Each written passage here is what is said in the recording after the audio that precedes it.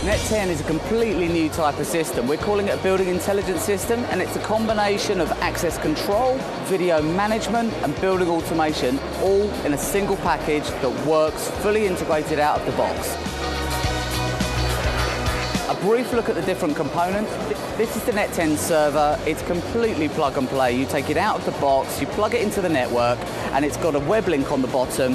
You go to any browser on the network, and you browse to that web link, and you'll be straight in to our web interface. This is using HTML5, so you haven't got any annoying plugins or any software to install or anything like that. This is the building block of the system. We're calling it a Net10 controller. This will actually look after two doors.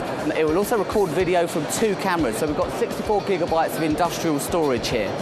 It's a PoE device and we've also got a Bluetooth smart gateway for wireless connection to smart devices for identifying people.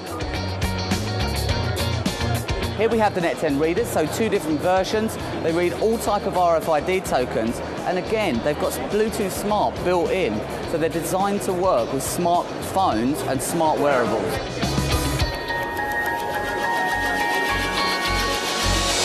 Here we have something called Net10 Smart Point. You won't see anything like this in the industry. This is a completely wireless, battery-powered device that can be installed inside or outside.